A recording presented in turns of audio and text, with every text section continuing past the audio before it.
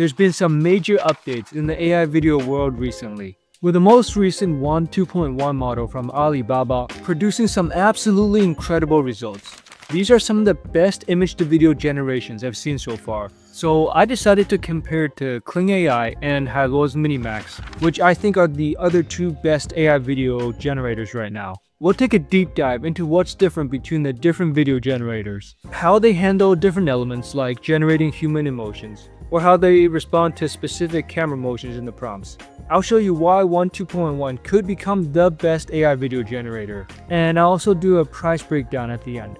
The comparisons will be done using image to video, where a reference image is uploaded and an AI video is generated using the prompt. The first thing I wanted to test is how well they can animate human emotions, which are super important for storytelling. Starting with Kling AI, which has been the best platform for a while now, I prompt for specific facial features like wide eyes and a subtle smile. And the AI video pretty much gets everything right. You can clearly see her eyebrows raise up and her eyes get wide. Here I tried an unhappy expression of contempt, one thing you'll notice is that sometimes the characters are animated speaking, even though I didn't ask for it in the prompt. She still talks. Here's another emotion of surprise. He covers his mouth in shock. It does a pretty good job here. Now let's see what the Wan 2.1 model can do. To run the model I used fal.ai, but it's an open source model and you can run it on your own machine. You'll notice that these videos are at a lower 16 FPS frame rate, so they can look a bit choppy, However, it's pretty easy to just increase the frame rate using Flowframes. I'll put a link in the description for a tutorial on how to do that for free. The videos I'm showing for Wan 2.1 have all had their frame rates increased to make them look a little smoother. If we compare to Kling, the results are really nice and high quality. However, for this woman, you'll see her eyes don't follow the prompt as closely in the Wan model. I asked for the eyes to widen and the eyebrows to be raised, but Wan 2.1 doesn't animate that correctly. For the example showing contempt, I asked for her eyes to narrow. Again, Kling does a better job of following the prompt. I didn't notice Wan 2.1 having the issue of animating people speaking or talking. They tend to keep their mouths closed for the most part, as long as you don't prompt for talking. Here's an example where Wan actually worked better than Kling. In the prompt, I said furrowed eyebrows to show a suspicious facial expression, and in the Wan video generation, you clearly see him scrunching his eyebrows, while in Kling his eyebrows stay flat and are much less expressive. So how good the results are kind of vary depending on the image. Now let's take a look at what Hailuo's Minimax can do. The main issue you'll run into with Hailuo is it really likes to animate people talking all the time, and they usually speak super fast. I get a lot of comments about this, it can be pretty annoying. And sometimes the emotions can look a little overly expressive, in my experience. Although for this suspicious look, it does a good job, and it shows the clenched jaw fully. Now let's test out some different full body movements to see what they can do. I prompt for her to pick up a bouquet of flowers and spin around while dancing. Kling gives more motion than Hailuo, where they're spinning a few different times, while Hailuo's video is more static. In both of them, the flowers have a little bit of blurring, You'll notice that sometimes where you try to introduce new elements into the video. Wan 2.1 is really impressive when it comes to natural movements. The patterns and details stay sharp, even when she's moving all over the place. The flowers kind of appear out of nowhere though, and just warp into her hand.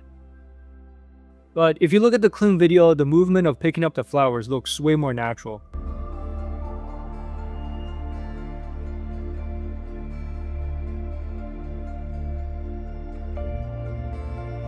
One of the most important aspects of directing AI films is controlling the camera motion. Kling's pretty good at this. You can combine multiple different movements like zooming out and also rotating around the subject. We can pan and follow the spirit creature as she walks through a field, and then zooming on her picking up a flower.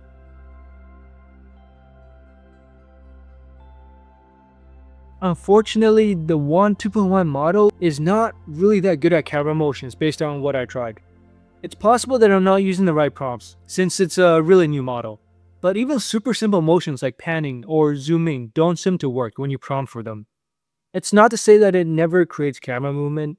Sometimes it can, but the results aren't always good when it does. Here the spaceship transforms into something totally different in the Wan model. As far as camera motion, Hailuo probably has some of the most control you can get right now. They released a new director mode recently, which lets you insert a bunch of different camera motions into different parts of your prompt. So you can recreate just about any camera movement you could think of. This is a really great feature that does set them apart a bit. The main weakness of Hailuo compared to the others though, is that the sharpness of the detail sometimes just isn't there. You'll see the background blurring in some instances when you add in the motions. Look closely at the flowers in this field, there's so much blurring, you can barely make out the shapes of the individual flower petals. Here's what the Wan 2.1 video looks like. Still some blurring, but the details are sharper for sure. The flower petals are way more visible. And this is what Kling looks like. It's got the highest resolution. It's not perfect if you look at the small details around the flowers, but it's way sharper than what Hailuo gives. So while Hailuo has really great camera control, you do lose a bit on the sharpness of the detail. I wanted to see how the different AI video platforms would perform when trying to introduce some more creativity into the animations. I asked for this hand to write the word prompt on the wall. Kling kind of just scribbles around drawing random shapes with the light. There's not any real English letters that are written. Hailuo does write the correct word, although it looks like some kind of an LED sign, instead of maintaining the consistent style as the rest of the scene. The hand motion is also very jittery. This happens often in Hailuo videos, sometimes you get these fast jittery movements. Wan 2.1 is kind of in between. It does write down some letters that sort of look close to the word prompt. You can make out a few P's and O's in there, but the spelling isn't totally correct. I also tried introducing lots of new characters into the scene, like the Skeleton Knights. Wan and Kling both do a good job of preserving the original visual style. Kling especially have some pretty good movement with their crawling motions. I will struggle some more here. The new editing skeletons don't really match the visual style as the environment, and they kind of just look out of place. I think working with different visual styles is one of Wan 2.1's strong suits. You can animate a variety of different videos and prompts using them.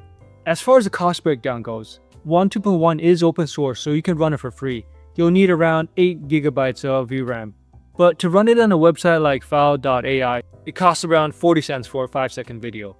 Hailuo has an unlimited plan on the website, but for the cheaper plans it costs 23 to 33 cents.